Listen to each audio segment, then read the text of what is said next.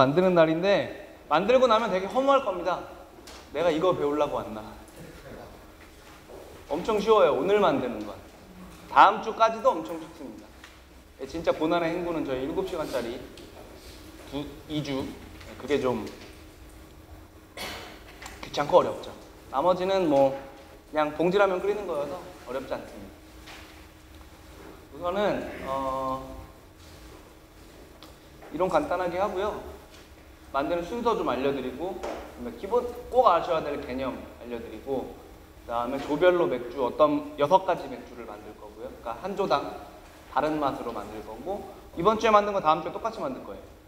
왜냐면 오늘은 그냥 그냥 있는 그대로 만들 거고 다음 주에는 뭐 조금 파도 좀 썰어 넣고 뭐 좀 멸치도 좀 넣고 다음 주에 좀 더 기본 봉지라면을 좀더 맛있게 만드는 방법. 오늘 만든 거랑 다음 주 만든 거랑 같이 좀 비교해서 먹어보고 그러면 내가 조금 더 노력을 가하면 맥주가 어- 얼마만큼 괜찮은지 확인해보는 시간을 가질 겁니다. 저번 주 뭐 했던 거 잠깐 그래도 보고 넘어가면 저번 주에 이제 테이스팅 하는 거 체크리스트 알려드렸죠? 어떤 거 봐야 되는지 네, 향에서는 호향, malt향 이건 좀 어렵지만 효모 발효향 그 다음에 부재료 넣었으면 부재료 향이 당연히 나겠죠 이런 거 체크하시고 외형에서는 거품 보시고 맥주의 색깔 보시고 맥주의 탁도 보면 됩니다. 그리고 풍미는 당연히 홉 풍미 홉에서 무슨 맛이 나는지 네, malt에서 무슨 맛이 나는지 효모 발효향은 어떤지 뭐 이런 것들 쭉 보시면 되고요. 효감은 body full body, light body, medium body. 실제로 좀 입안에서 무거운 느낌이고요. 그 다음에 탄산감이 약한지 높은지 중간인지. 그리고 총평 간단하게 총, 총평 건너뛰셔도 되고요. 이 정도만 체크하시면서 간단하게 단어 위주로 쓰셔도 충분합니다. 자, 오늘은 맥주 만들기 원리를 보겠습니다. 이거 제가 아마 첫 시간에 한 것 같은데요. 간단히 다시 볼게요. 지구상에 존재하는 모든 술에 대해서 분류를 할 수 있는 차트입니다. 예. 요 가로축은 당분을 어디서 뽑아내는가? 첫 번째는 곡물이 있고요. 과일 주자 가지고 만드는 술이 있겠죠. 그 다음에 여기서 끝나면 발효주. 요 발효주 그 발효주 그러니까 발효가 돼서 완성 완성된 술을 한 번 더 끓여가지고 그 수증기 받으면 증류주. 그러니까 모든 술은 일단 발효주를 만들어야 되는 거예요. 그냥 바로 증류주가 되는 건 없습니다. 일단 발효를 먼저 하고 그 다음에 증류해야 증류주가 됩니다. 곡물에서 당을 뽑아서 발효시킨 술, 뭐 맥주, 막걸리, 그리고 과일, 과실주, 과실 발효주, 와인, 뭐 시드르, 사이더, 그다음에 배 발효시키면 페리. 그리고 이제 A를 증류한 거예요. 요걸 증류한 거는 뭐 위스키, 맥주 비슷한 걸 만든 다음에 증류하면 위스키 되고요.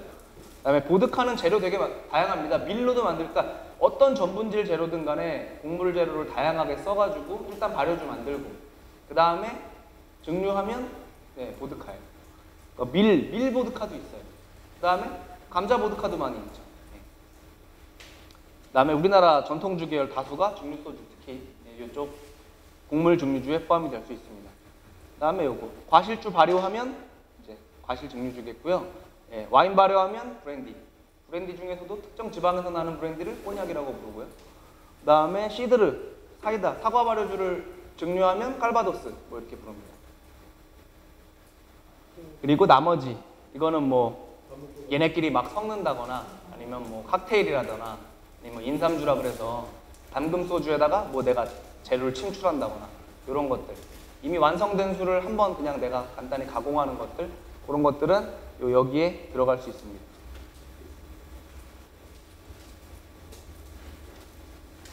요거 너무나도 많이 보셨죠?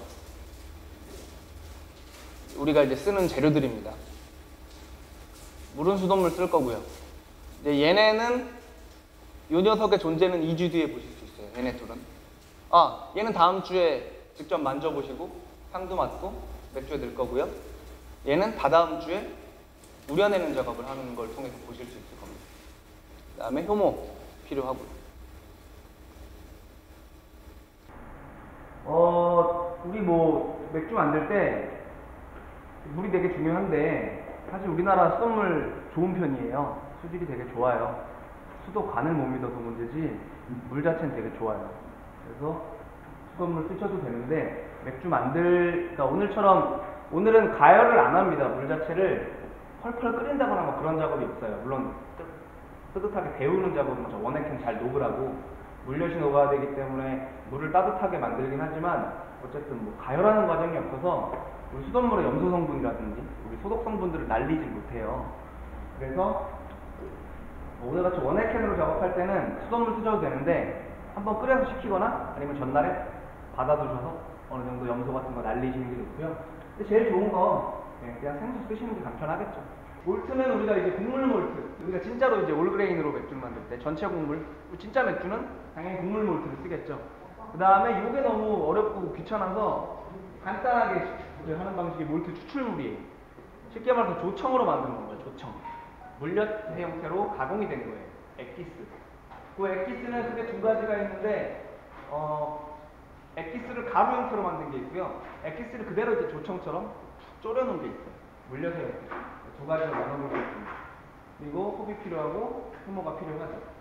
근데 이 액상몰트 추출물을 또 두 개로 나눠줄 수 있는데 이거 그냥 다 외우실 필요 없어요. 가볍게 들으시면 됩니다. 우리가 어차피 다 쓸 거기 때문에. 그러니까 이 조청의 형태는 크게 두 가지가 있어요. 어, 그냥 딱 진짜 조청같이 달기만 한 형태. 하나는, 그 나머지 하나는 조청에다가 혹을 집어넣는 거예요. 그래서 쓰고 달아요. 그러니까 쓰고 단 게 더 간편하겠죠. 걔는 물만 타면 끝이에요. 쓴맛까지 다 맞춰져 있어요. 근데 우리가 다다음 주에 쓸 양조할 것 같은 경우에는 그냥 순수하게 당분만 응축이 돼 있어서 저희가 홈 넣고 한 시간 동안 끓여야 됩니다. 근데 조금 더 자유도가 높아요. 어떤 홉을 쓰든지 우리가 마음대로 넣을 수 있으니까. 홉은 이런 작용들을 하고요. 뭐 맥주 여러 가지 부재료들 쓰일 수 있는데요.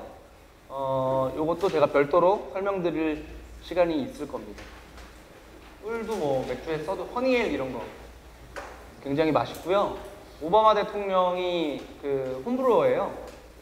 백악관에서 맥주 만들어서 비서들이랑 회의할 때 먹기도 하고 그래서 어, 미국 백악관 비서실에서 공식 자료로 오바마 레시피를 발표하기도 했어요.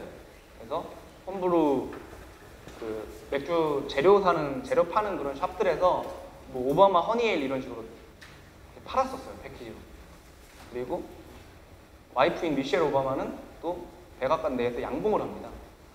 진짜 영부인이 만든 꿀과 남편이 만든 맥주가 합쳐져서 예, 오바마 허니에일 이걸 진짜 팔았었어요. 아, 꿀은 안 팔았겠죠 당연히.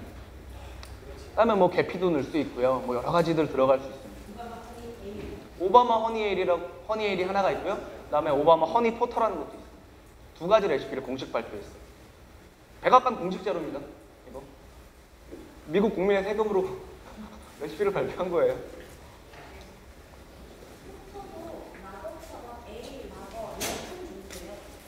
아, 예, porter는 dark ale을 얘기해요.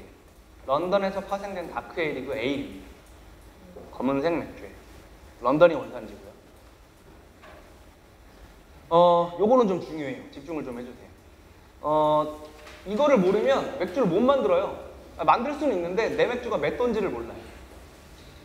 몇 돈지 모르고 먹어도 되겠습니다만 알고 먹는 게 좋겠죠.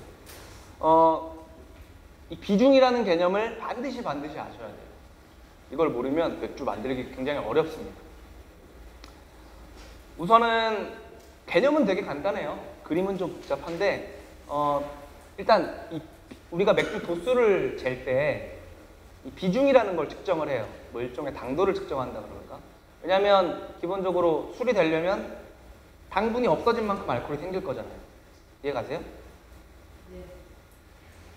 발효하기 전에 당분을 체크를 하고 그다음에 발효가 끝난 다음에 당분을 체크를 하면 효모가 당분을 그동안 막 먹었기 때문에 당분이 없어져 있겠죠. 일정 일정 부분. 그러면 당분이 많이 없어졌으면 알코올이 그만큼 많이 전환됐겠죠. 당분 차이가 얼마 없어요. 그럼 알코올도 조금 생겼겠죠. 이런 개념으로 알코올 도수를 보는 거예요. 그래서 저희는 실제로 당분을 재진 않고요. 물의 무게를 잴 겁니다. 액체의 무게를 잴 거예요. 제가 물보다 당이 무겁다고 말씀드렸죠. 그러니까 물에다가 뭔가를 타면 그냥 물보다는 얘가 무거워요. 그 무게의 차이를 이용해서 당분이 얼마나 없어졌는지를 잴 거예요. 그거를 비중을 측정한다고 합니다. 비중을 측정을 해야 맥주의 도수를 알 수 있어요. 그리고 측정을 해야 내가 어, 내가 디자인한 대로 맥주가 정확히 나왔는지 알 수 있습니다. 그래서 비중이라는 거는 절대값이 아니고 상대값이에요. 그러니까 상대값이라는 거는 뭔가 기준이 있다는 거겠죠. 그 기준은 15도씨의 증류수입니다. 그 물의 무게를 1로 보자는 거예요. 1로. 1로 가정하자라는 겁니다. 그 기준으로 삼아서 얘보다 무거우면 1.5모모 되겠죠. 얘보다 가벼우면 아래로 수치로 내려갈 겁니다. 서피 15도씨의 순수한 물의 무게를 1로 가정하고 보는 수치가 우리 비중입니다. 그래서 비중은 초기 비중이라는 개념이랑 종료 비중이라는 개념 두 가지가 있어요. 초기 비중은 효모 넣기 전에, 발효 시작 전에 재는 비중. 액체가 되게 무겁겠죠. 1보다 훨씬 무겁겠죠. 당분이 아직 안 없어졌으니까. 그리고 일주일 정도 지나면 발효가 끝나게 되는데 일주일 뒤에 발효 끝나고 재는 비중을 종료 비중이라고 해요. 초기 비중에 비해서 훨씬 액체의 무게가 가벼워져 있겠죠. 당분을 많이 먹었으니까 일주일 동안. 그렇기 때문에 초기 비중과 종료 비중의 차이를 구해서 알코올을 계산하는 거예요. 이걸 제가 말로 설명드리는 건 그림으로 해놓으면 이렇게 됩니다. 여기 물이 있어요. 이 컵에 물이 있습니다. 여기다가 이 물의 무게는 당연히 1이겠죠. 그 다음에 뭐 우리가 나중에 당화라는 걸 하겠지만 전체 곡물 땐 당화를 하고요. 어쨌든 지금 저희는 물에다가 저 물엿 같은 걸 탈 거잖아요. 그러니까 단계 들어가니까 이때부터는 물이라고 안 하고 맥즙이라고. 영어로는 wort라고 합니다. 맥즙, 맥아즙, wort 같은 말이. 그러니까 식혜 같은 맛이에요. 그러면 당연히 물이 당을 흡수해서 비중이 상승되겠죠. 물의 무게가 실제로 무거워집니다. 상승되겠죠? 부피는 똑같은데. 그리고 나서 효모를 넣습니다. 그리고 일주일 뒤에 또는 열흘 뒤에 발효가 끝나고 체크를 해보면 한 요 정도로 떨어져 있어요. 1이 되진 않아요.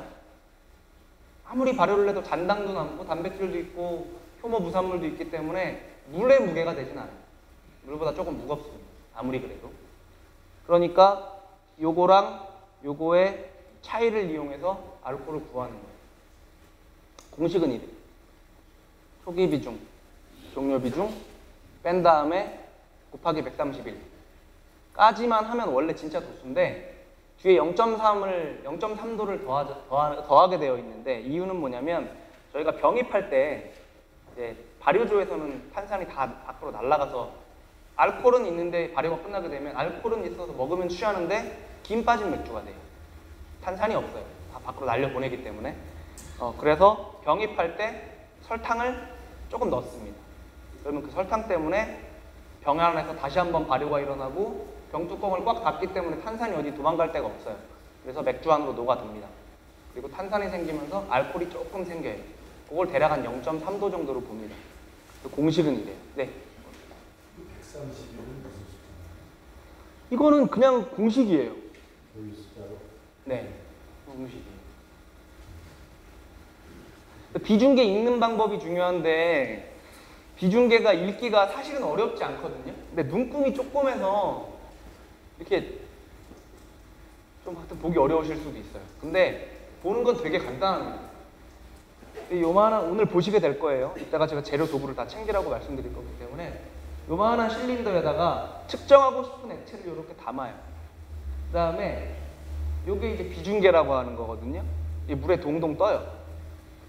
물에 동동 뜹니다. 이거 확대해 놓은 겁니다. 이 그림은. 이렇게 보면 물의 물 표면과 만나는 눈금을 읽어주면 되는 거예요. 근데 하나도 안 어렵거든요. 근데 조금 약간의 연습이 필요합니다. 예를 들어서 여기서 조금 더 크게 그려드릴게요. 이거 같이 한번 맞춰보시죠.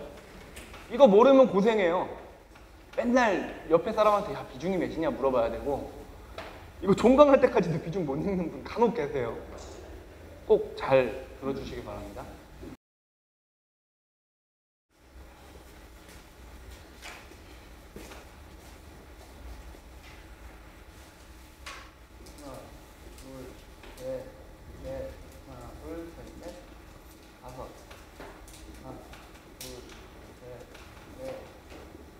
숫자를 크게 해드려야 되죠?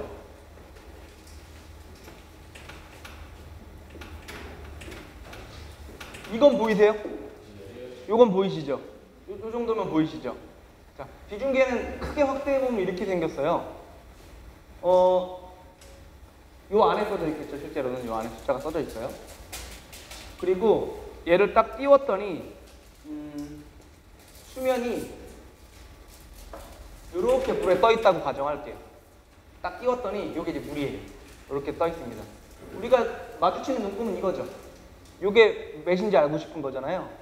근데 눈금이 하나가 그러니까 이- 얘와 30과 40 사이에 다섯 칸이에요. 그럼 눈금 하나당 몇이죠? 2죠.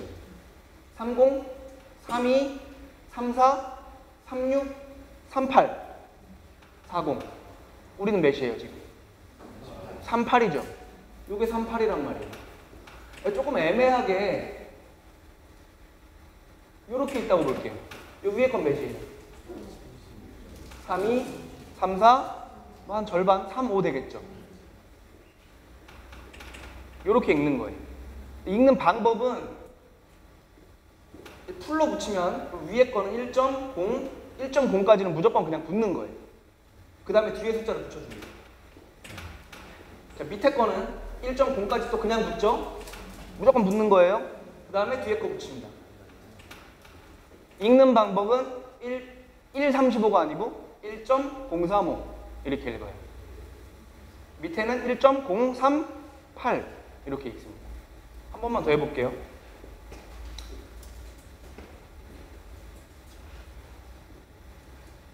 자, 요거 한 번만 읽어보실래요? 풀로 1점까지 해서 1.044 근데 이게 물에 띄워놓으면 실제로 숫자들이 작기 때문에 잘 보셔야 돼요. 보기 힘드시거나 아니면 조금 이제 뭐 눈이 조금 안 좋으신 분들은 팁을 하나 드리면 이렇게 가까이서 사진을 찍어가지고요. 이렇게 확대해서 보시면 조금 더잘볼수 있습니다. 이따가 실제로 다 재고 칠판에 적고 이런 과정들을 거칠 겁니다.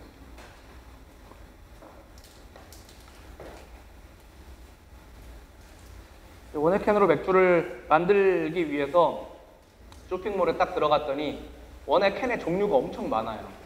헷갈리잖아요. 뭘 사야 될지. 그래서 간단히 맥주 스타일 좀 알아보겠습니다. 이거 뭐 워낙 많이 했던 거죠. 에일은 그냥 보통 온도에서 발효하고 라거는 냉장 장치가 있어야 돼요.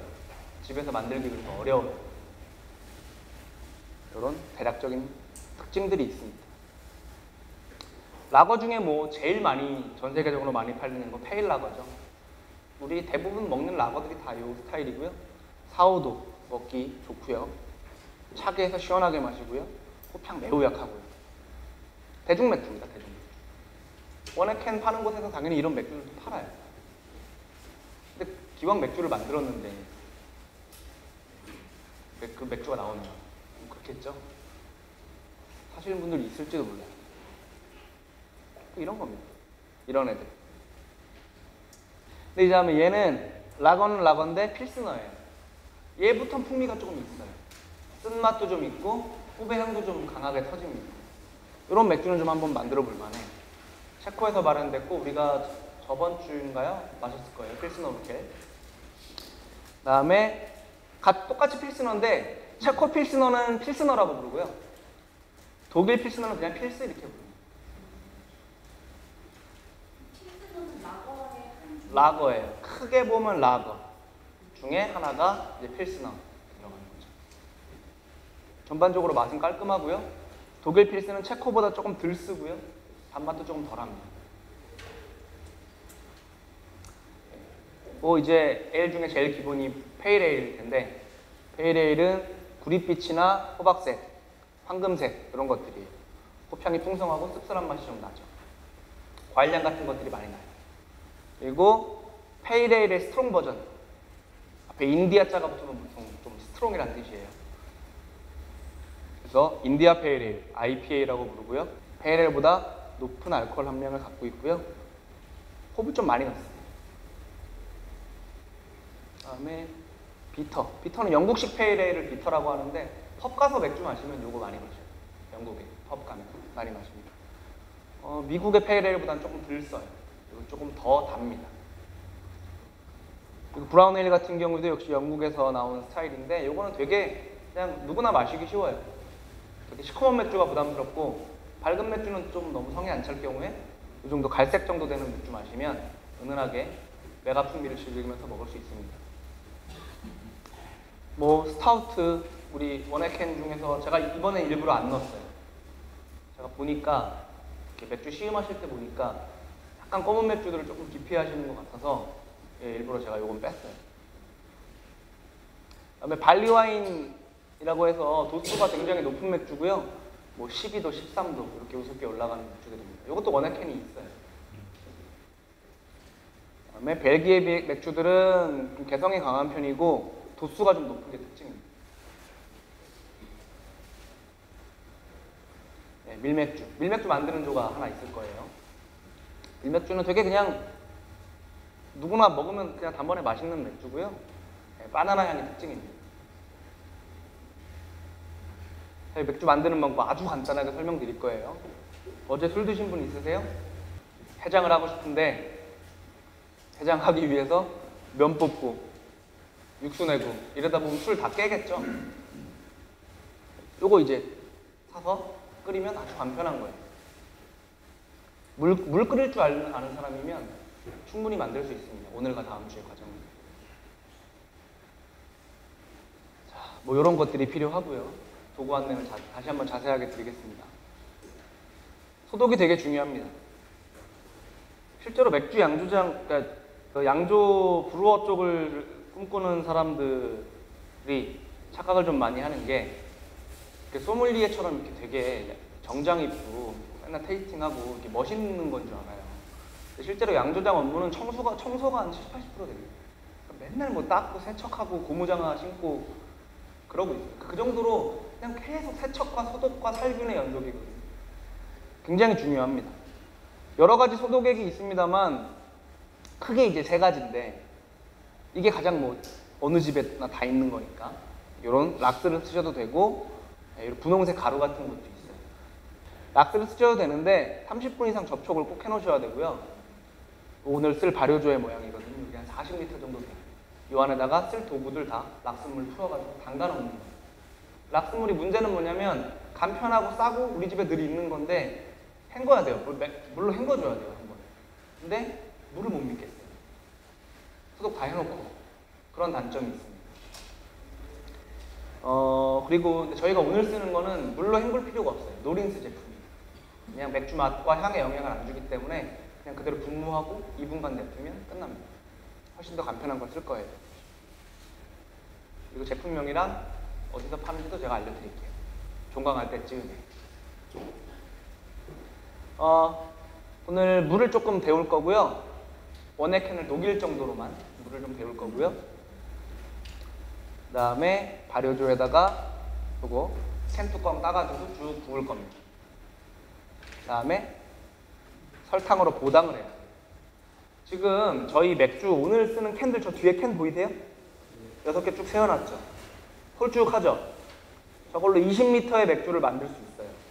근데 저걸로 만들면 도수가 2도 이렇게 나와요. 그래서 보당을 합니다. 저 캔은 프리미엄 캔이 아니고 보급형 캔이에요. 좀 싸고 뭐 그런 거예요. 저렴하고 좋게 말하면 저렴하고. 얘를 두 배 넣으면 좋은데 쓴맛도 두 배가 돼요. 그럴 바에는 프리미엄 캔은 3, 쟤가 1.7kg짜리인데 아예 그런 용도로 나온 프리미엄 캔들은 3.4kg짜리 두 배짜리 캔이 있어요. 그거는 두- 그거 하나만 딱 부으시면 끝나요. 한 5도 대 맥주가 나옵니다. 그래서 쟤는 오늘 설탕 1kg씩 넣어서 보당을 할 거예요. 4, 5도 맞추려고. 오늘 하는 건 맥주를 그렇게 뭐 맛있게 만드는 방법은 아니에요. 그냥 가장 싸고 간편하게 만드는 방법. 다음 주에는 저희가 설탕 1kg 대신에 드라이 몰트 1kg 넣을 거예요. 다음 주는 오늘 만드는 원액캔 똑같이 만들지만 조금 업그레이드하는 방식으로 만들 거기 때문에 우리 맥주를 만들고 설탕주 만들고 싶은 거 사람 없잖아요. 그래서 보당을 하긴 할 건데 메가에서 뽑아낸 당으로 쉽게 말하면 엿기름을 분쇄해서 분사해서 가루로 만든 거예요. 그 엿기름 가루를 집어넣고 보당을 할 겁니다. 그럼 맥주 맛이 훨씬 더 깊어져요. 그렇게 보당을 할 거고요. 그다음에 원액캔 놓고 뜨거운 물로 어느 정도 완벽하게 녹인 다음에는 저희가 오늘 맥주를 20리터 만들 겁니다. 조당 20리터 저 발효조 뒤에 보면 눈금이 표시돼 있어요. 거기까지 찬물을 넣어가지고 쭉 20m까지 보충하고 효모 뿌리고 끝이에요. 비중제는. 요거는 나중에 한 번 더 설명드릴 시간이 있을 겁니다. 어, 뭐를 설명드릴 지금 설명드려도 뭐 와닿지가 않으실 거예요. 발효조가 이렇게 생겼거든요. 저 뒤에 있는 거. 설치를 하면 이게 에어락이라 그래서 이거를 딱 꽂게 되면 발효가 일어날 때 보글보글 거려요. 우리 밥솥의 추처럼. 이 에어락은 말 그대로 공기, 락이니까 잠금 장치잖아요. 발효할 때 제일 중요한 건 밀폐 환경이 제일 중요해요. 다른 공기들이 들어가면 안 됩니다. 그래서 저 에어락을 설치하게 되면 밖에 있는 공기는 발효조 안으로 못 들어가는데 발효조 안에서 생성되는 탄산은 밖으로 배출시켜줘요. 그거 배출 안 시키면 발효조 터지겠죠. 압력 때문에. 탄산이 어디 나갈 데가 없으니까 뻥 터져요. 그래서 에어락을 설치를 합니다. 발효 끝날 때쯤 되면 당연히 이게 활동이 뽀글뽀글하던 게 점점 점점 느려집니다. 그걸 보고 아 발효가 거의 끝났구나 확인을 하면 되는 거죠. 다음에 일주일이 지나면은 저희가 다음 주에 영비어라는 걸 측정을 할 거예요. 영비어는 발효는 완료가 돼가지고 술은 술인데 김 빠진 맥주. 네, 그걸 가지고 영비어라고 해요. 그거를 그걸로 최종 비중을 종료 비중을 측정해서 알코올 도수 차이를 계산하는 겁니다. 이런 뭐 기타 등등이 필요하고요. 이거는 제가 그때 되면 다시 한번 안내 드릴게요. 네. 혹시 여기까지 질문 있으신가요? 네, 아까 아, 아직 아직 먹을 때가 안 됐고 미숙성 맥주다 이렇게 해서 영비어라고 보통 이제 전발효가 끝난 맥주를 영비어라고 해요. 전발효, 후발효까지 끝나면 이제 완성된 맥주라고 하죠.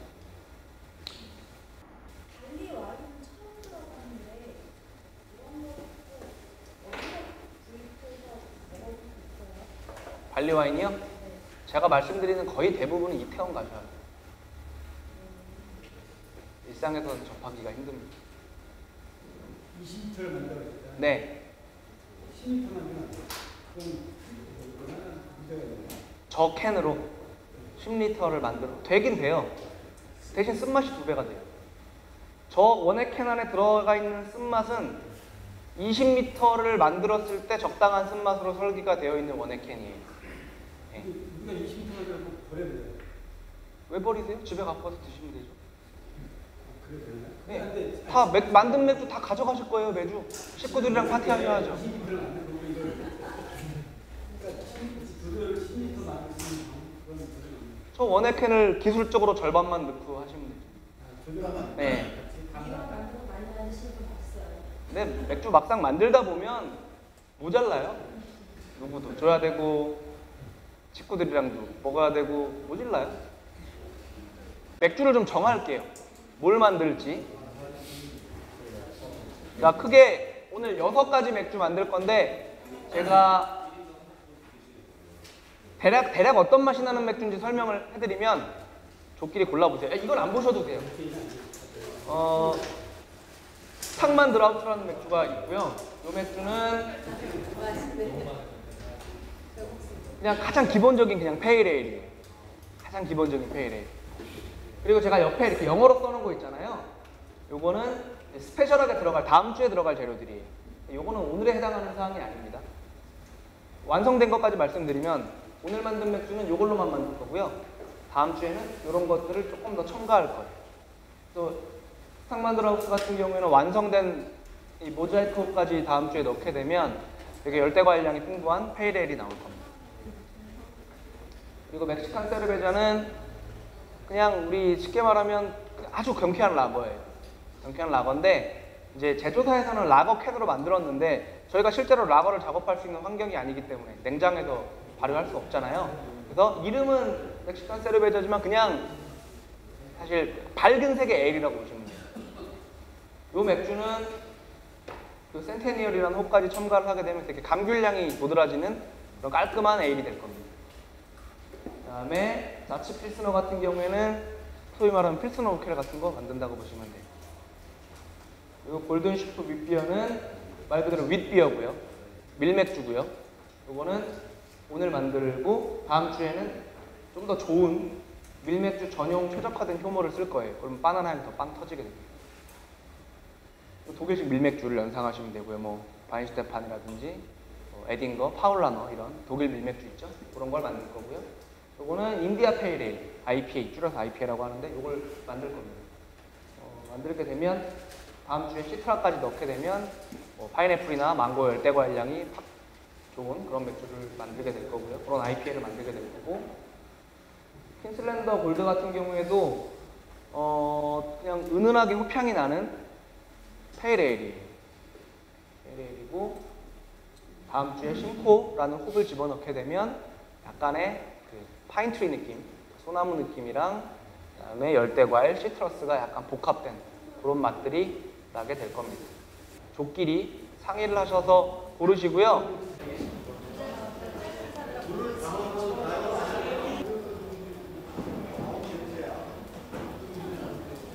과일 향 1번이요? 5조. 그 다음은요? 네. 세 번째, 네, 세 번째 순서예요. 여섯 번째요? 1조. 저희가 2주 IPA 2조. 그 다음, 그 다음 순서는요? 6조. 4조. 그죠? 근데 다 맛있어요. 솔직히 오늘 건 별로고요.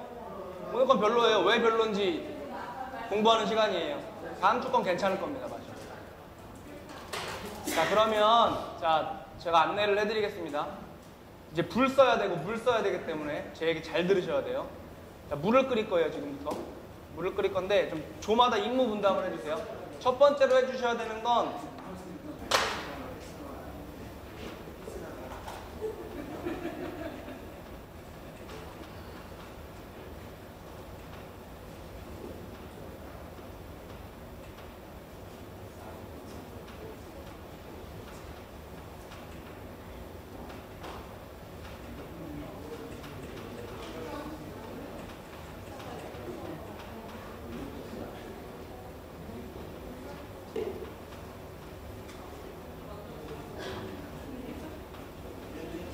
자, 이 세 가지를 조에서 임무 분담을 해서 해주셔야 되는데, 요 3번은 1, 2번까지 다 끝난 조만. 딱 붙기 직전에 따야 됩니다. 자, 물 끓이기 4리터. 저기 뒤에 보면 스테인레스 통이 있습니다. 말을 못하겠네. 네, 저기 보이시죠? 저게 아마 거의, 거의 깨끗할 거예요. 그래도 혹시 모르니까 물로 한번 헹궈 주시고요. 저기다가 4리터의 물을 부어서 끓여주세요. 한 번 끓으면 바로 불 끄면 돼요. 이게 2리터 규격이죠? 두 번 근데 혹시 모르니까 혹시 모르니까 제가 좀 다시 고칠게요. 8리터 하겠습니다. 8리터. 8리터 8리터 이걸로 네 번 부으시면 돼요. 네 번 부어서 저기에 불 올리시고요. 불 올리시고 그 다음에 한 분 다른 분들은 우리 발효조 발효조 있죠, 요거 발효조. 요거를 세척 물로 세척해 주시고 주걱도 물로 세척해 주시는데 얘는 잘 들으셔야 돼요. 뒤에 분들 잠깐만요. 아직 하지 말아 주세요. 이러면 힘들어요. 저 선생님, 선생님, 잠깐만 여기 여기 저 선생님, 이건 모두 다 들으셔야 돼요. 자, 선생님, 여기 좀 봐주세요. 자, 이거 발효조를, 발효조를 세척을 하셔야 되는데, 이 발효조는 어, 스크래치가 나, 나면 안 돼요. 그렇기 때문에 수세미, 거친 면 있죠. 그걸로 닦으면 안 됩니다. 스크래치가 생기면 거기에 박테리아들이 좋아서 살아요. 그렇기 때문에 저 스폰지가 아마 있을 겁니다. 또는 헝겊형 수세미 그런 걸로 잘 문질러서, 문질러서 폼폼 한번 해주시고 요 꼭지를 벌써 결합을 하셨는데 요 꼭지 결합은 제가 별도로 알려드릴 테니까 요 안에 꼭지 있어야 됩니다. 발효조 문을 열면 요 물꼭지 있을 거예요. 없는 조 있으세요? 없죠? 구성품 오 괜찮으세요? 꼭지 고무링 두 개, 볼트 하나 요렇게까지 있어야 돼요. 요거 다 세척해 주시고 얘까지 통통에 깨끗한 물로 세척해서 열로 대기해 주세요. 8리터 끓이는 건 지금 바로 부탁드립니다. 해주세요. 다 하신 조는 캔 따고 자리에 좀 앉아주세요.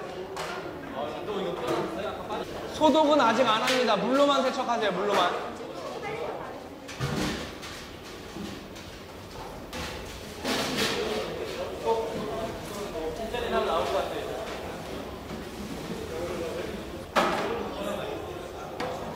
이거는 그냥 물로만 해주셔도 돼요.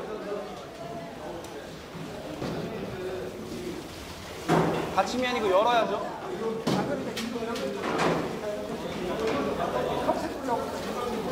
아니, 반대로 놓은 거예요? 아, 그래요? 오케이.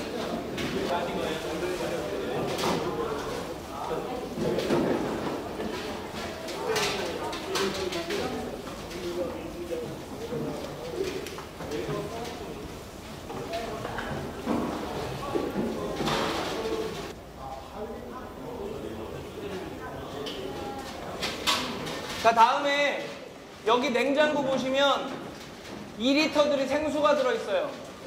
이거 한 조당 28에 16, 8개씩. 한 조당 여기 안에 있는 차가운 생수 8개씩 책상 위에 놔주세요.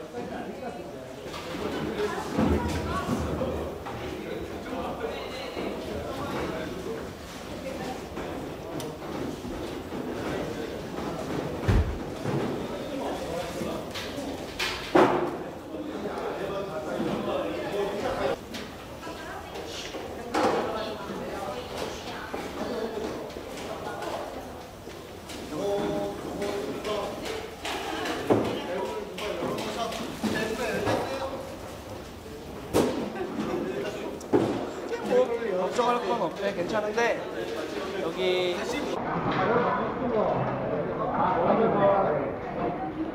자 여기 좀 잘 봐주세요.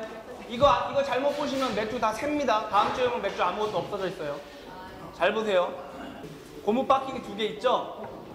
바킹이란 말 돼? 뭐 어쨌든 자 고무에 이게 있어요. 첫 번째 걸 먼저 넣습니다. 넣고 이 상태로 그대로 집어 넣어주세요. 그 다음에 바킹은 안쪽에서 넣습니다. 그 다음에 자 여기가 중요해요. 여기가 여기가 중요해요. 이 볼트 잘 보세요. 이 볼트를 잘 보세요. 볼트를 잘 보면 볼록 튀어나와 있는 데가 있고 평평한 면이 있어요. 글자가 써져 있어요. 여기는 볼트가 어떻게 생겼냐면 아 너트 너트를 보면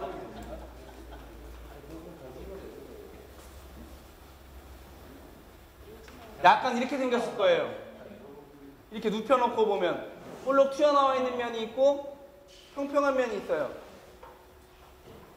요 평평한 면이 안쪽으로 가서 붙습니다. 발효조와 직접 맞닿는 부분은 요 안쪽 면이에요. 볼록 튀어나와 있는 부분은 바깥에 있는 겁니다. 평평한 부분을 안쪽으로 넣고 조여주세요. 근데 여기서 힘을 너무 줘가지고 너무 꽉 조이면 패킹이 비틀려요. 비틀리면서 맥주가 셉니다.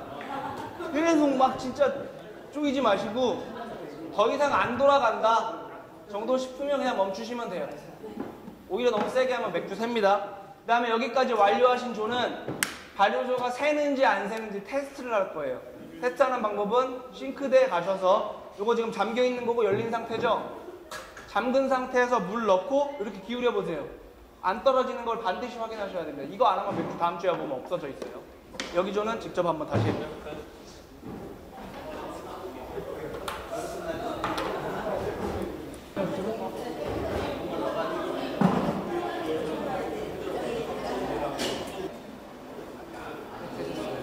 물기 안 닦으셔도 돼요.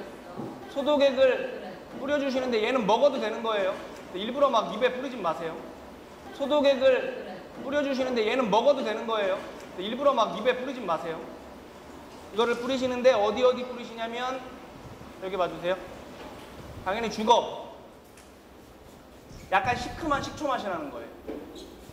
다 뿌리시고 발효조 안쪽에도 꼼꼼하게 뿌리시고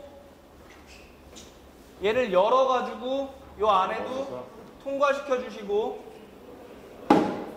발효조 뚜껑 뚜껑 뿌리는 건 당연한데 여기 홈 있죠? 홈에도 다 분사해서 채워주시고요. 그 다음 요게 에어락이라는 녀석이에요. 에어락. 밥솥추처럼 마지막에 딱 꽂을 거예요.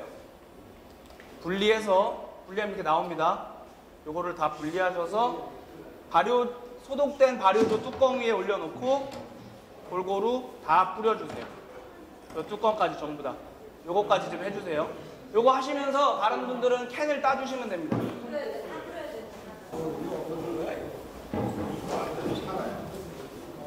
아, 이 하나, 둘, 셋, 여섯.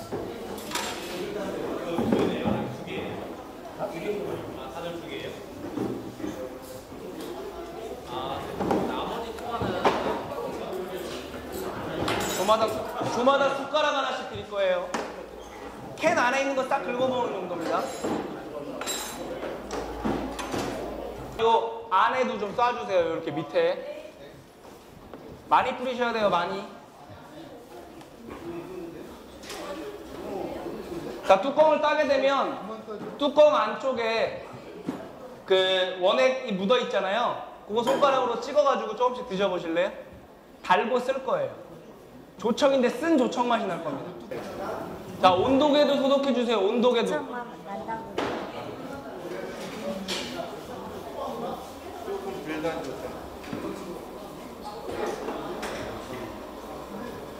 온도계 소독이요, 온도계. 온도계도 소독해서 바르죠 뚜껑 위에 올려주세요. 자, 비중계는 소독 안 하셔도 됩니다. 요 비중계는 소독 안 하셔도 되고, 온도계만, 온도계만. 심심할 때마다 소독에 뿌려주세요. 발효조 안쪽에도.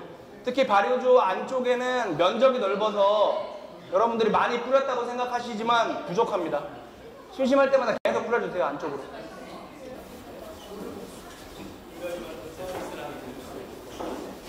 막간을 이용해서 다음에 하실 거 안내해 드릴게요. 물이 끓으면 자기조 스테인레스가 어떤 건지 아- 알고 계시죠? 자, 물이 끓으면 저 손잡이 뜨겁습니다. 불 쓰는 거기 때문에 항상 조심하셔야 돼요. 양손에 행주를 들고 저걸 그대로 여기까지 가져오시면 돼요. 가져오시고 요 원액캔 있죠? 요 원액캔을 그대로 들어서 발효조 안으로 부어주시면 돼요. 끈적하게 내려갑니다. 끝까지 나올 때까지 기다렸다가 적당한 선에서 끊어주시고요. 저 물을 이 발효조 안에 4리터만 넣어주세요. 4리터만. 4리터만 넣고요. 저 뜨거운 물 밸브 열면 뜨거운 물 좀 나오겠죠. 그죠? 그럼 요 안에 물 좀 넣어가지고 숟가락으로 벽면에 붙어 있는 거 다 녹여서 넣는 것까지. 자, 1번 저기 있는 거 행주로 손 안 디게 일로 갖고 오시고요. 갖고 오시면 소독된 발효조에 원액캔을 부어주시고요. 뭐 끝까지 뭐 하실 필요 없어요. 부은 다음에 원액캔 안에 남아있는 애는 저 스테인레스 통에 있는 밸브 열어가지고 자 밸브 열 때 주의사항 요 캔 밑에 부분을 만지고 열면 뜨거워요. 쇠기 때문에 요 위에를 만진 상태에서 위에를 잡고 물을 넣어주셔야 돼요. 그래서 숟가락으로 뚜껑에 있는 거에 싹 녹여서 넣어주시고요. 그것까지 하신 조는 설탕까지 부어주시면 돼요. 이렇게 4리터의 물로 설탕과 조청을 완벽하게 녹여주시는 것까지 하시면 됩니다. 헷갈리시면 저 부르세요. 잡고 여기는 이렇게 잡고 일단 내리는 것까지만.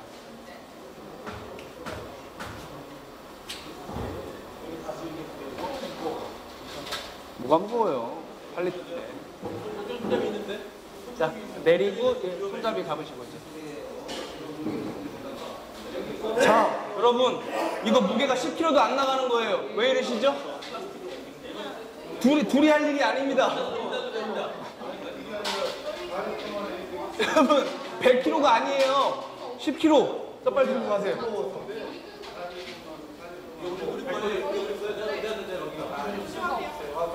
자리 비켜주세요.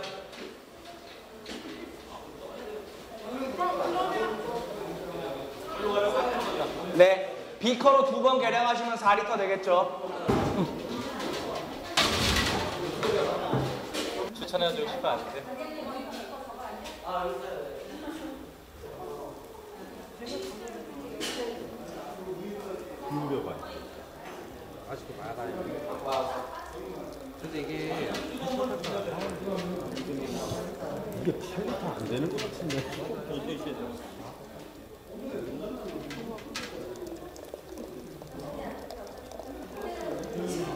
발효조 소독 잘 해주셔야 돼요.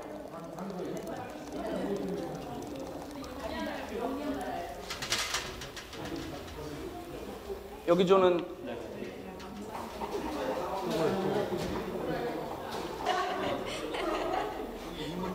아, 큰 상관없어요. 괜찮아요.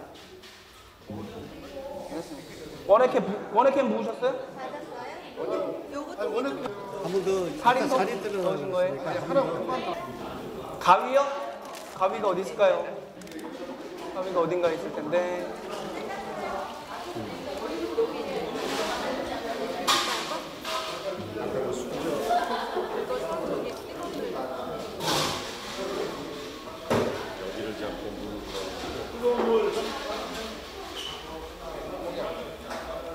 이 설탕 한번 넣는 거예요?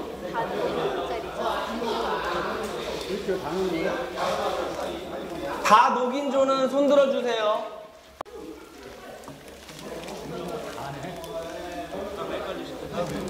네,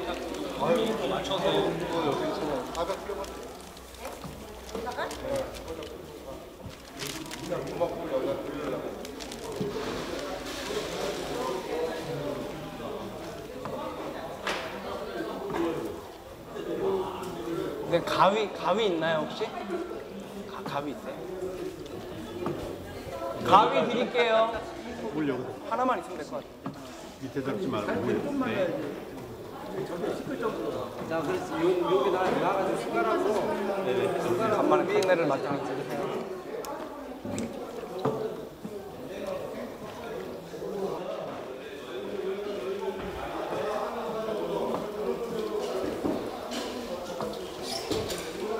어느 세월에?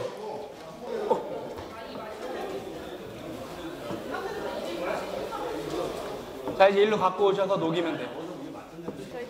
다 확인하는 방법은 기울여서 캔 밑바닥을 직접 보시면 돼요. 네, 잘 녹았네요. 여기 저는 생수를 넣겠습니다. 생수 어디 있죠? 차가운 거.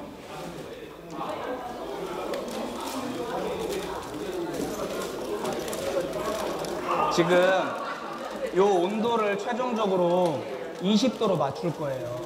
이건 엄청 뜨겁죠? 이건 엄청 차갑죠? 이걸로 쭉 채우면 온도가 떨어지겠죠? 근데 혹시 모르니까 저희가 오늘 20m까지 채울 건데 20m 다 채우지 마시고 제가 그래서 뜨거운 물 남겨놓으라고 그런 거거든요. 너무 차가워지면 저 뜨거운 물로 보충할 거예요. 그래서 16m까지만 여기 옆에 눈금 있어요. 16m까지만 채워본 다음에 채워본 다음에 온도계로 온도 체크해 보시고 괜찮다 싶으면 20m까지 맞춰주시면 돼요. 요거 뿌리는 방법은 산소가 좀 들어가야 돼요. 그래서 근데 이렇게 꿀렁꿀렁 나오게 하지 마시고요. 일자로 네, 흐르게 이렇게.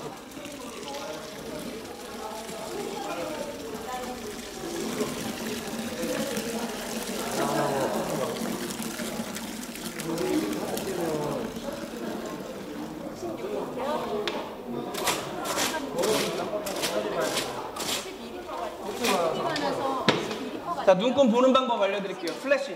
플래시 좀 켜주세요. 자, 물 붓는 거 잠깐만 중지요. 플래시 보는 방법은 안에서 비추면 돼요.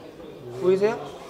안에서 비추면 거품 높이 좀 감안하시고요. 14리터다. 거품은 요걸로 이렇게 걷으면 걷어지잖아요. 그죠? 이렇게 해- 해가면서 몇 리터인지 봐- 체크하시면 돼요. 14리터에 지금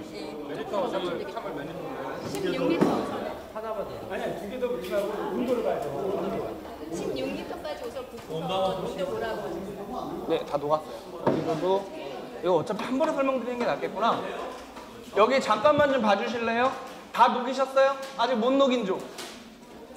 다 녹이셨어요? 제가 다 녹은 것만 빨리 확인할게요. 설탕까지 다 넣으셔야 돼요.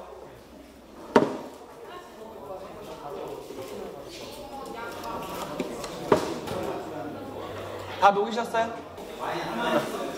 물 잠깐 대기요. 전체 설명드릴게요. 이거 무조건 막 하라는 대로 하면 뭐에 쫓겨가지고 내가 뭐 하고 있는지도 몰라요. 잠깐만 좀 봐주세요. 우리, 내- 우리 가 뭔가를 할 때 내가 이거 왜 하고 있는지 알아야 돼요. 내가 이거 왜 하고 있는지 알아야 됩니다. 왜, 왜 하고 있는지 알려드릴게요, 지금부터.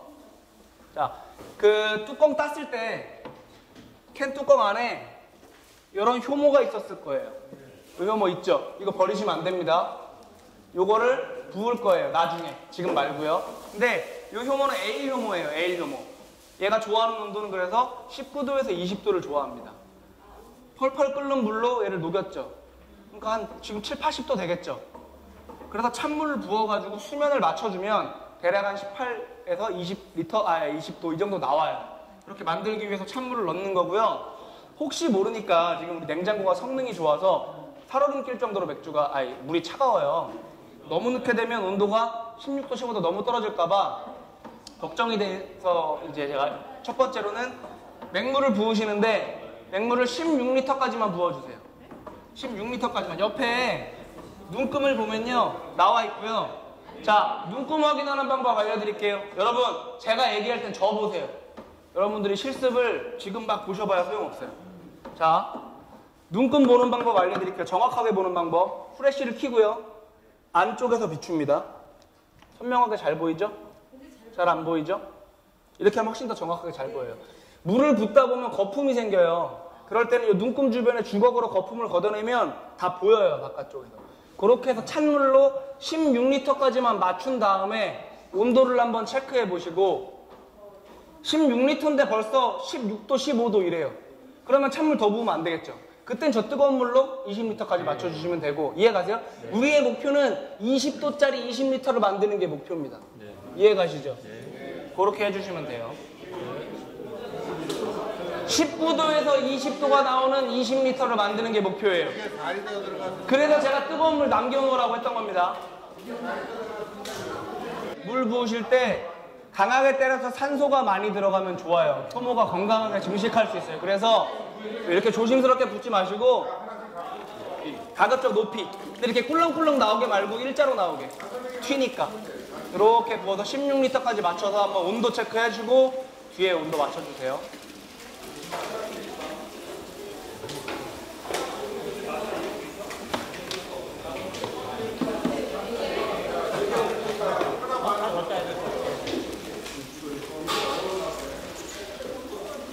너무 차가워요?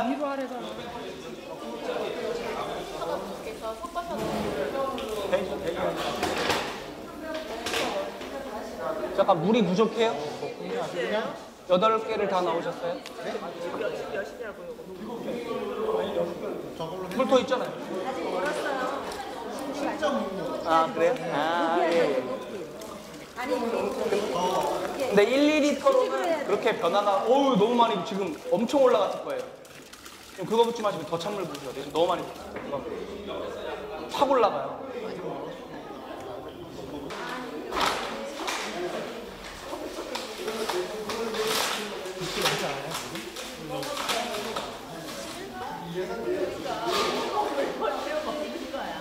(20도에) (20리터) 19도도 괜찮아요. 자, 대략 18도에서 20도 사이로 맞춰주시면 돼요. 18도에서 20도 사이. 20리터. 이렇게 부어야 돼요. 아, 이렇게 보면.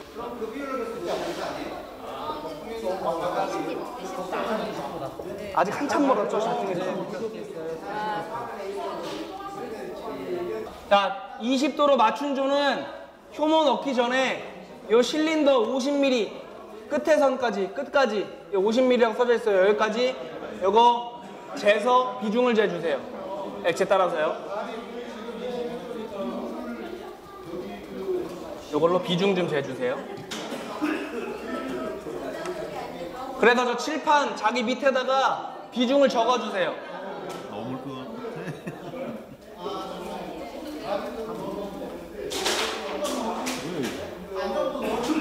칠판으로 볼 때는 쉬웠는데 막상 1.042. 1.042예요. 한 칸 더 내려갔어요. 자, 좀 볼까요? 42. 네, 1.042 맞습니다. 자, 에어락 설치하는 방법 알려드리겠습니다. 에어락 설치하는 방법. 아까 다 분해했죠? 이렇게 다 분해했죠? 분해하셨으면 요거를 다시 합쳐주세요. 자, 에어락 설명하는데 안 보실 거예요? 에어락, 에어락. 에어락을 다시 꽂아요. 그 다음에 수돗물 있죠? 아, 우리 소독액이 많으니까 소독액을 채우겠습니다. 분무기 좀 주실래요? 분무기로 요 안에다가 물을 넣어주세요. 여러 번 부어서 어디까지 넣냐면 라인이 하나가 있고 두 개가 있어요. 두 번째 라인까지 끝까지 채워서 뚜껑 닫고 발효 뚜껑 닫으면 조그만 구멍 있어요. 실리콘 전체 넣어주시면 돼요.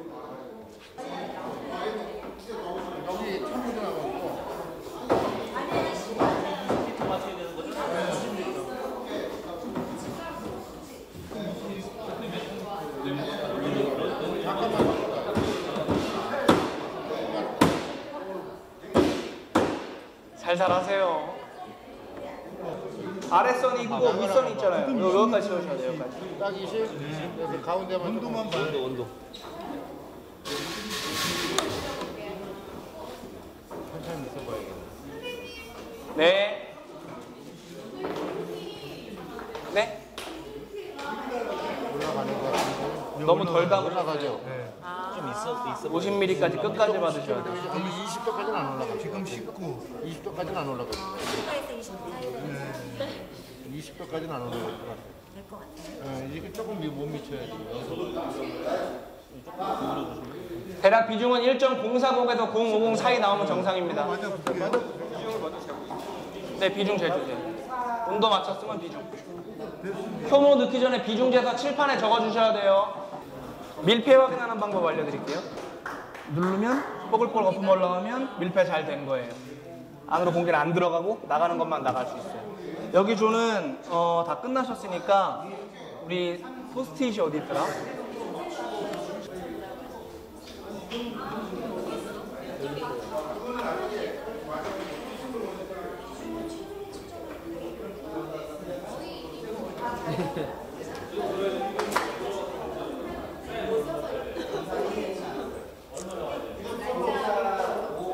물꼭지 있잖아요. 아? 네. 네, 끝나셨어요? 몇 도예요? 제대로 읽어주는지.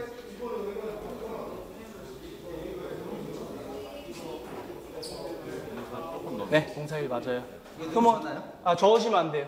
효모 넣으시고, 뚜껑 닫고, 에어락 빼고 뚜껑 닫고, 닫은 다음에 꽂아주시는 거예요. 뚜껑 닫으시면 돼요. 에어 하시고. 그 다음에 이따 포스트잇 드릴 건데 포스트잇에 적으셔야 될 거죠. 샘플이에요. 오늘 날짜 몇 조, 맥주 명, original gravity, OG가 오늘 비찬 비중이에요. 초기 비중.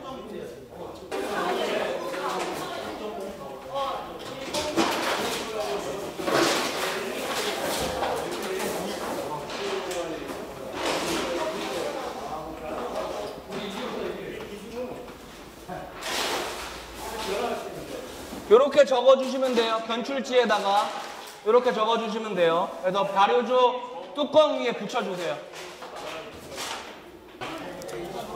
뭐랑 다 사이에 나와야 되는 거 아니에요? 이상 나와도 돼요.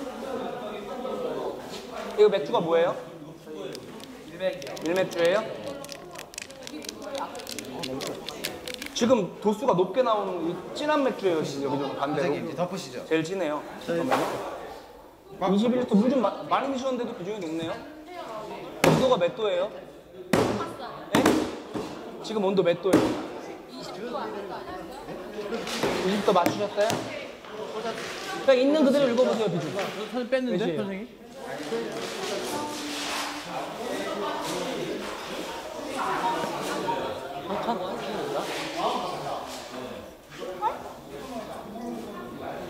오, 오, 50에서 몇 칸 내려와 있어요?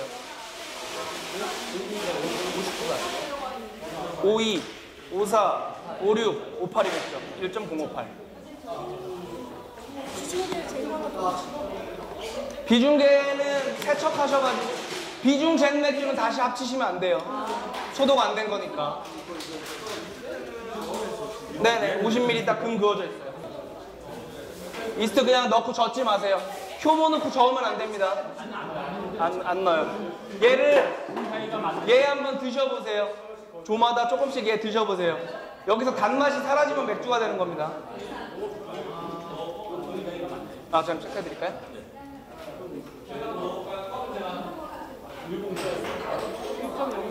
칠판에 적어주시면 그래도 됩니다. 약간 씁쓸한 이거 뚜껑 닫으셔야죠. 향은 네, 맥주 향이. 나는데 소독액. 탄산이 없으니까 그렇네요. 달달한 쓴물. 물을 채우셔야죠. 여기까지 넣으시면 돼요. 네, 여기까지 채우시면 돼요. 원해 원해 그거는 원해. 이게 더 좋겠죠. 그렇게만 이상하고 그러진 않네요.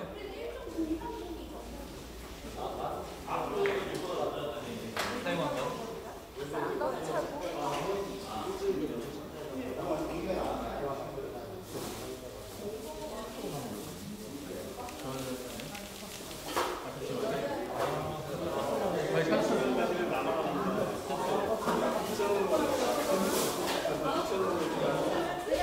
비중 읽어보세요.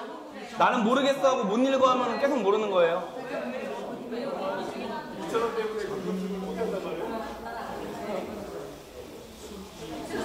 수면과 만다는 눈금을 읽으시면 돼요.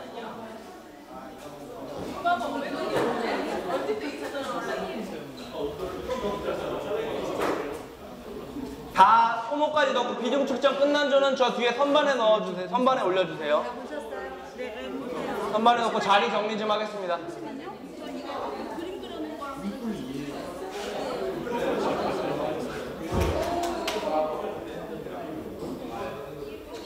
실습 비품 정리하는 방법 알려드릴 테니까요. 발효조만 저 선반에 놔주세요. 네, 포스트잇 있어요? 선생님 포스트잇 있죠? 요- 요거 붙이면 되나요? 요거 붙이면 이거 잘 떨어지 잘 떨어지는가? 잘 안 떨어지죠. 그러니까 나중에 더 힘들잖아요. 잘 떨어지는 게 더 좋은데. 제거 잘 뛰면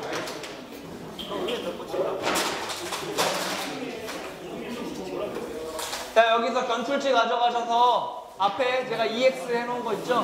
그거 가져가셔서 뭐야 누가 지웠어?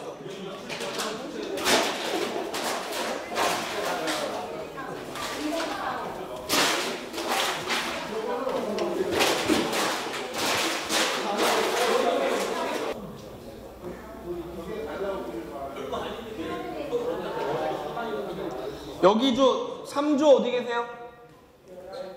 3조 뚜껑을 왜 안 닫고 걸쳐만 놓으셨어요? 뚜껑 좀 닫아주세요.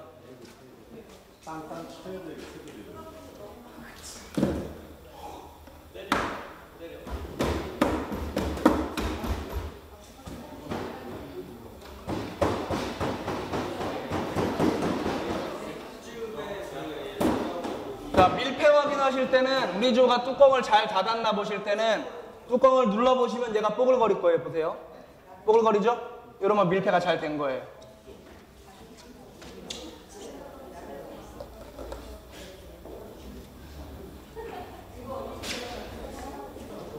자, 다 드신 조는 자리에 좀 앉아주세요. 정리하는 거 간단히 알려드리고, 왜냐면 정리 방법을 지금 잘 익혀놓으셔야 기자재 계속 잘 관리하실 수 있기 때문에 맥주 처음으로 아마 태어나서 처음으로 맥주 만드셨을 텐데 처음이어서 좀 음, 오래 걸리긴 했지만 그래도 재미있으셨죠? 네. 맥주가 잘 나올 거고요. 날씨도 요새 딱 발효하기 좋습니다. 어, 오늘 좀 처음이어서 그렇고요. 실제로 이제 익숙한 사람이 하게 되면 이제 물 끓이는 것부터 설거지까지 저 뒷정리까지 1시간 안에 끝나요. 한 45분 정도밖에 안 걸려요, 실제로. 자, 도구 정리하는 방법 알려드리겠습니다. 우선은 자, 발효조 놓는 위치 알려드릴게요. 수업이 끝날 때 수업 다 끝나고 발효조를 발효실에 넣고 가시면 되는데요. 테이블 여섯 개 마련해 놨습니다. 아 테이블 있어요? 테이블 놓고 네. 의자만 있어요. 아 의자 여섯 개 있어요. 거기에 우리가 병입을 해야 되기 때문에 이 물꼭지가 밖으로 나오도록 물꼭지가 밖으로 나오도록 그래서 우리가 다음 주에는 얘를 전혀 건들지 않고도 그대로 병입할 수 있게끔 해주셔야 돼요. 시범 예. 시범으로 올려놨네요. 저거 보시고 수업 끝나고 올려놔 주시면 되고요. 지금 정리할 거는 우리가 다음 주에도 캔이 나오고 항상 재활용품들이 나와요. 재활용품들은 저기 파란색 봉지, 뭐 페트병, 페트병은 가급적 밟아주시고요. 캔은 굳이 안 밟으셔도 될 것 같아요. 캔 넣어주시고요.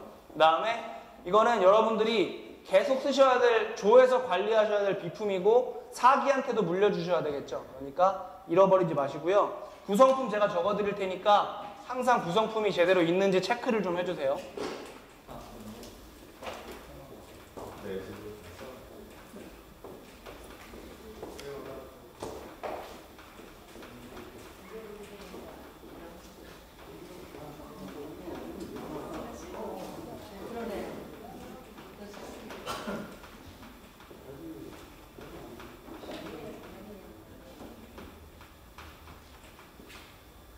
요렇게가 항상 있는지 아 분무기까지. 네 숟가락도요.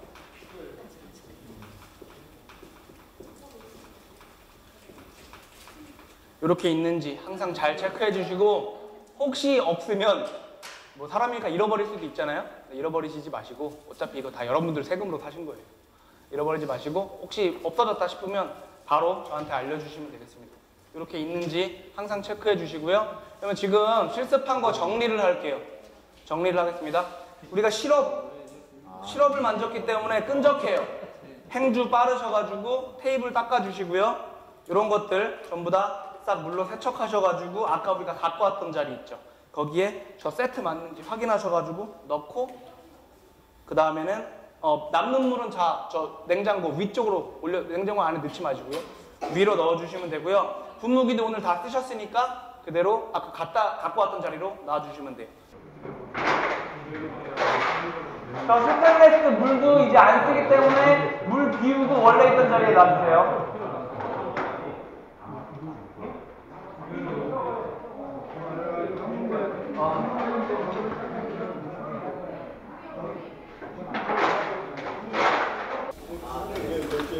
자, 오늘 오늘은 독일 독일 밀맥주 3개 마시는 날인데 간단하게만 대략적인 스타일이 어떤 건지만 알려드릴게요. 첫 번째는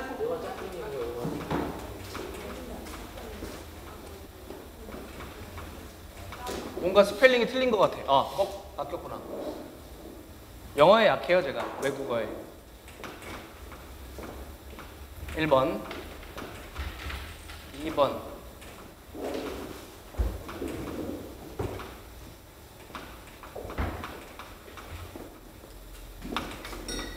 이렇게 흐리지? 편이? 그죠?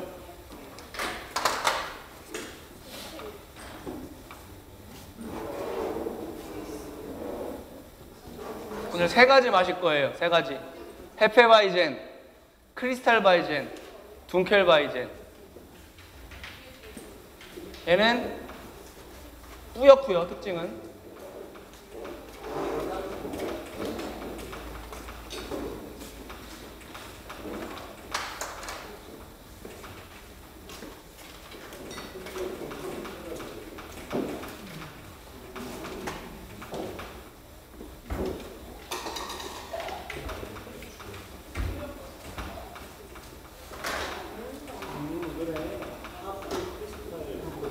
요약한 건데요.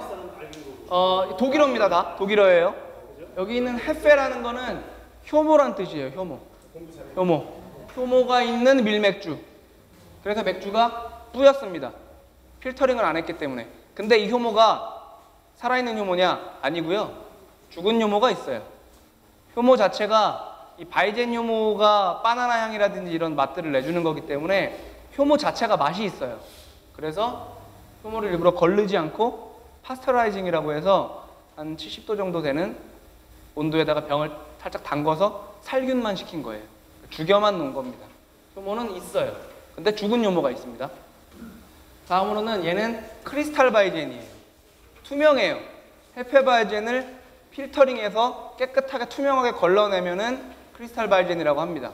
얘는 당연히 뿌옇지 않고 투명하고요. 효모를 싹 걸러냈기 때문에 딱 겉보기에는 카스예요. 겉보기에는. 얘랑 다른 점은 얘는 좀 느낌이 풍, 풍만하고요. 걸러내지 않아서. 풍성하고요, 느낌이.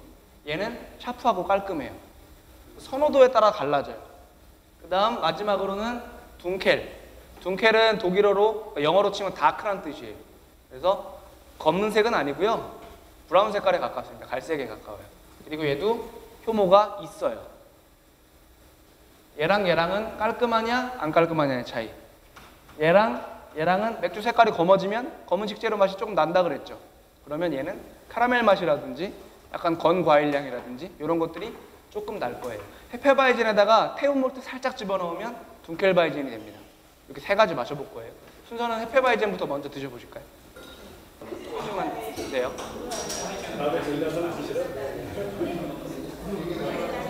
요거 박스에 넣어서 보관하셔야 됩니다.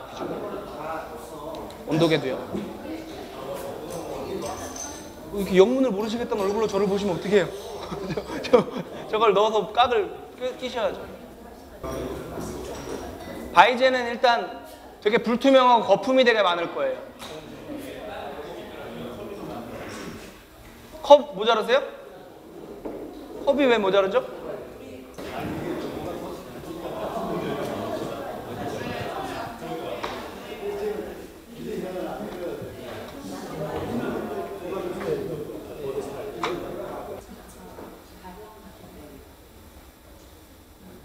자, 색깔 보시면 노란색이죠?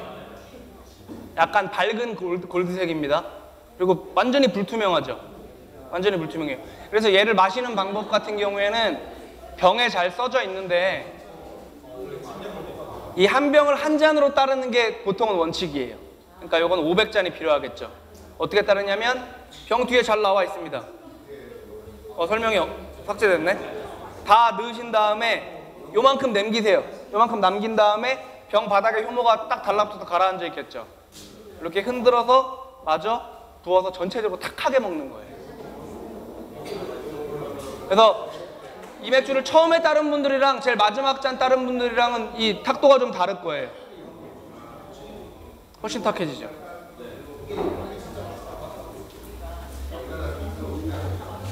요 헤페바이젠 같은 경우에는 독일 남부, 북부 말고요 남부 바이에른 미넨 유명한 클럽 있죠. 바이에른 지방의 특산주예요.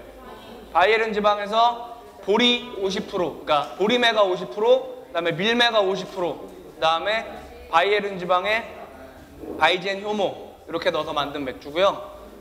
뭐 되게 호불호가 잘 안 갈리는 맥주예요. 그리고 향긋한 바나나 향이 나고요.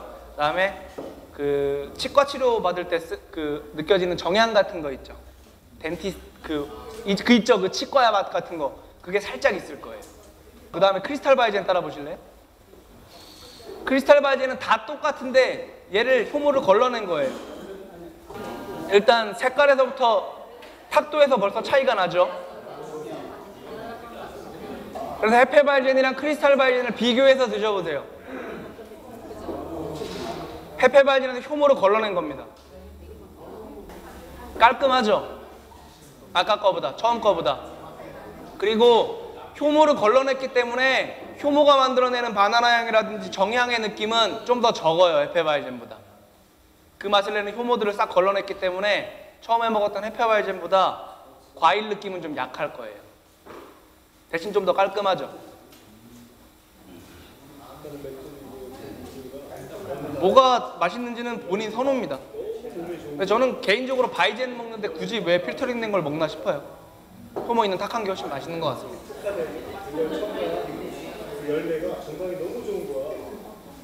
바나나 향이 살짝 나죠 그래도. 자, 그 다음에 마지막 맥주는 둔켈이에요, 둔켈. 둔켈은 헤페바이진에다가 검은 몰트를 조금 집어넣은 거예요. 카라멜 몰트랑 검은 몰트를 좀 집어넣은 겁니다. 그러니까 헤페바이젠보다 페- 헤페바이젠에서 안 나는 맛이 날 거예요, 조금.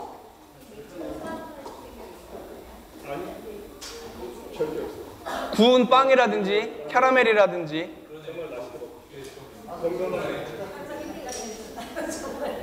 쉽게 얘기하면 조금 더 진하고 자세하게 얘기하면 카라멜이라든지 예, 건자두나 건포도 같은 느낌도 다 느낄 수 있고요.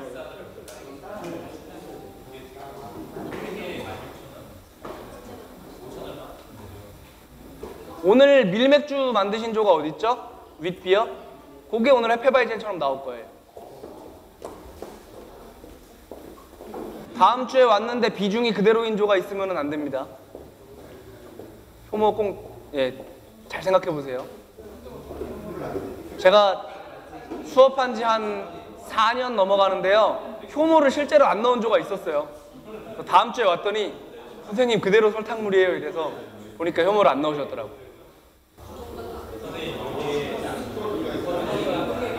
효모가 뭉쳐 있는 게 뚝 떨어진 거예요. 맛있는 거예요. 드세요.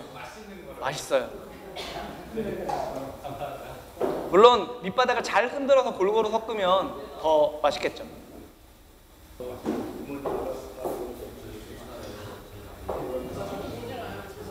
제가 느끼기에는 카라멜 맛이 좀 더 많이 나고요. 헤페바이젠보다 구운 빵 같은 느낌이 더 있네요.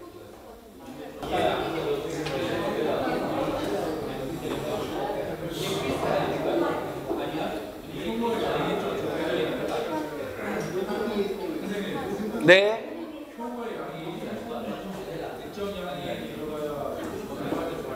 네, 맞습니다. 효모의 양이 되게 중요해요. 최적화되어 있는 거예요, 그 자체. 많이 넣게 되면 쉽게 얘기하면 이스티해진다고 하는데 맥주가 탁해지고요. 그다음에 효모취가 많이 나고요. 그렇게 돼요. 소독을 잘못하면 초상균이 들어갈 수 있습니다. 근데 웬만하면 그런 일 잘 안 일어나요. 쉽게 일어나는 경우는 아닙니다. 그리고 다음 주는 오늘 만들었던 원액캔 그대로 맥주를 조금 더 맛있게 만들어 볼 겁니다. 다음 주에는 병입도 하시게 될 거예요. 네, 혹시 어, 제가 오늘 할 내용은 다 끝났습니다. 혹시 질문 있으세요? 네. 그러면 자리 정리하시고요. 다음 주에는 다음 주에도 똑같이 7시에 뵙겠습니다. 수고하셨습니다.